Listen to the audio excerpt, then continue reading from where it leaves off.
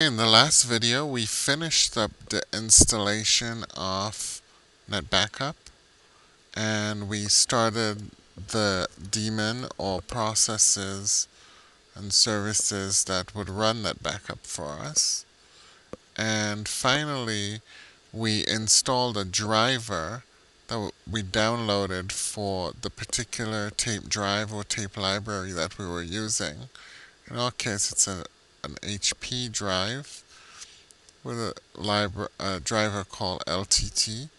We installed the LTT driver with the RPM command, RPM minus UVH, followed by the RPM package.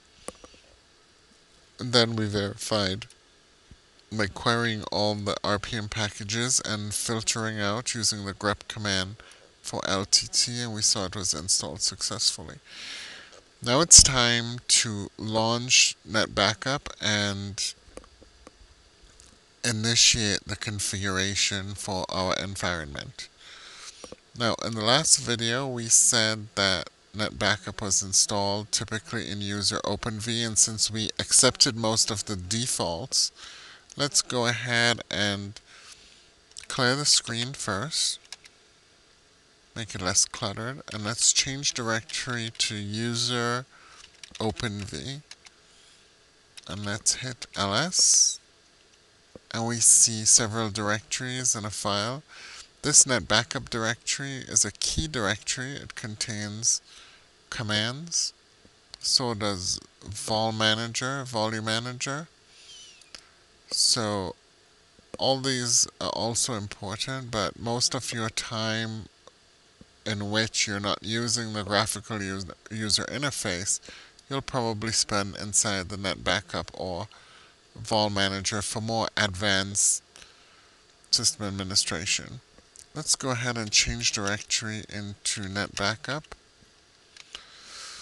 and do an ls and we would see various other files and directories. Let's go into the bin directory which in Unix means binary executable binary files or executable files, usually in this case executable files. If we do a listing, we see several files in this color indicating they're executable. So let's type pwd for print working directory and as we saw or explained before, user openv net backup bin, very important directory. One very important file in here is jnbsa. This is the file that will launch the NetBackup console. So let's go ahead and issue dot slash jnb sa. And this is probably not what you expected. It's certainly not what I expected. We have some kind of error this might look a little crazy to you, especially if you're not familiar with Java, but typically this is what Java errors look like, so you may want to get a little used to the overall picture of what it looks like, and chances are you won't have to uh, know that much about what this is saying. Right here where it says error, I see no such file or directory around this which indicates to me that this is some missing file or library. So a little research would probably point you in the direction that there's a package or software that's missing. So let's go ahead and try to install that. And that's not what's missing, but I have um, Let's go to our desktop where I have a note about this.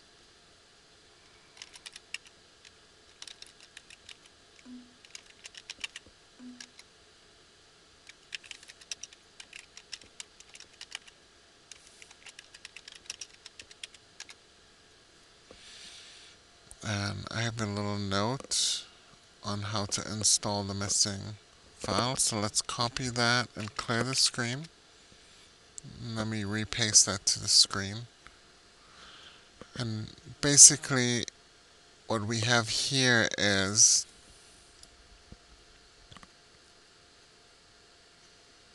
the name of the file, libxp.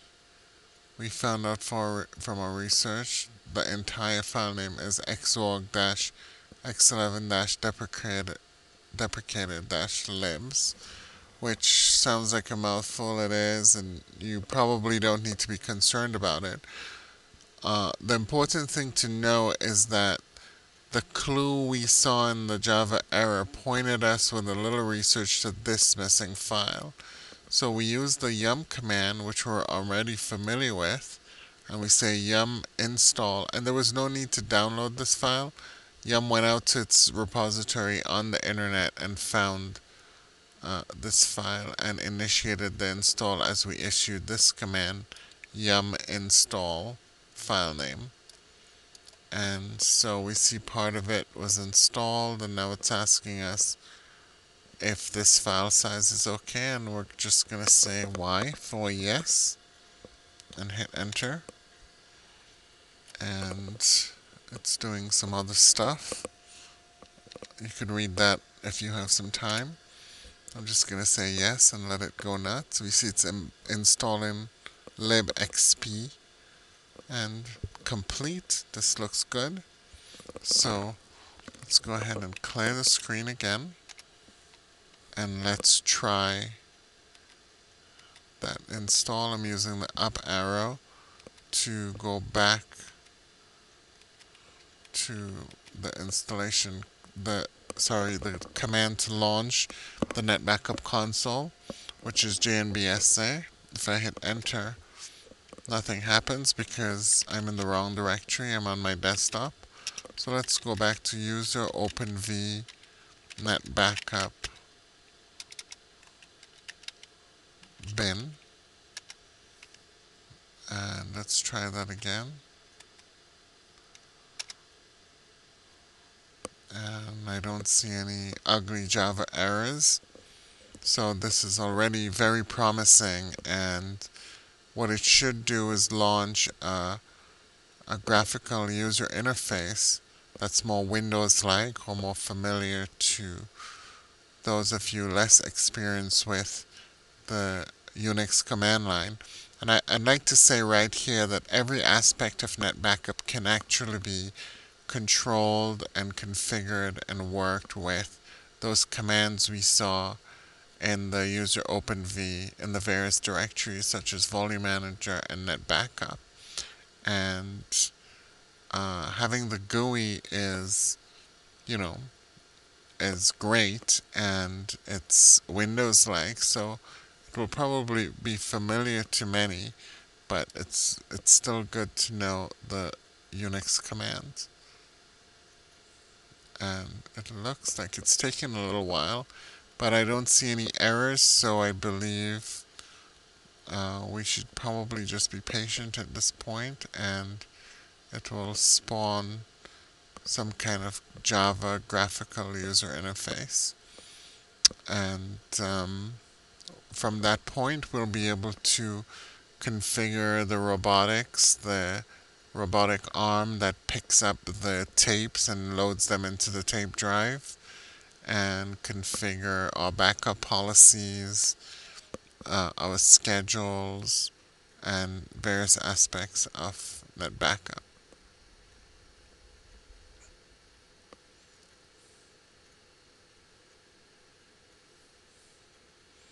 At this point, I'm going to go ahead and end this video and um, in the next video, once this console comes up, um, typically, it should not take this long to come up, but I'm connecting remotely over an SSH session, which is a tremendous amount of traffic sending these GUI components back and forth over my uh, limited network. So it'll probably take a little while, but once it's up, we'll resume uh, the NetBackup configuration.